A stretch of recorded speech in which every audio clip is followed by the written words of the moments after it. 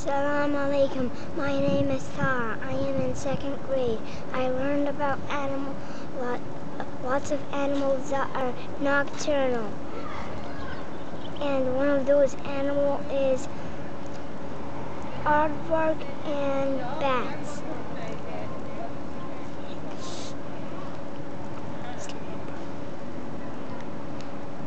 Uh, nocturnal animals sleep in the day and wake up at night.